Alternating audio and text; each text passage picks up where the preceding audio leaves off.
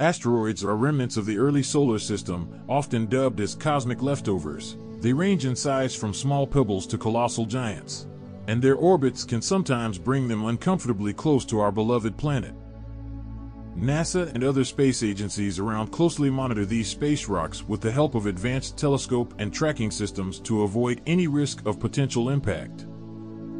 As per the information received from NASA's Jet Propulsion Laboratory, two asteroids staggering at a high speed towards Earth on September 30, 2023. Asteroid 2020 QG3.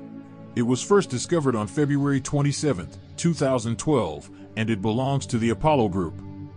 This space rock has been categorized as potentially hazardous near-Earth object, having the diameter estimated in the range from 145 to 324 meters. It makes one orbit around the Sun in 1,104 days. On September 30th, at 7.07 Greenwich Mean Time, it will fly past Earth at a distance of 8.56 million kilometers at a whooping speed of 13 kilometers per second. Asteroid 2009 UG it was first discovered on October 16, 2009, and it belongs to the Aten group. The diameter of this asteroid is estimated in the range from 58 to 130 meters. It makes one orbit around the Sun in 256 days.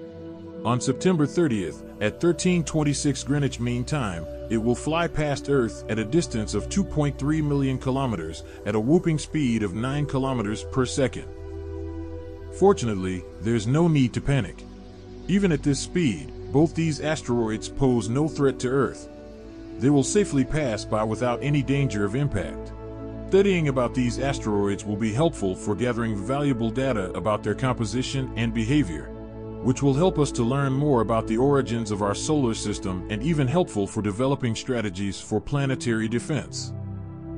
If you enjoyed this cosmic update, don't forget to give us a thumbs up and subscribe our channel Space Life Zero for more space news and celestial adventures. Feel free to share your thoughts and questions in the comments below.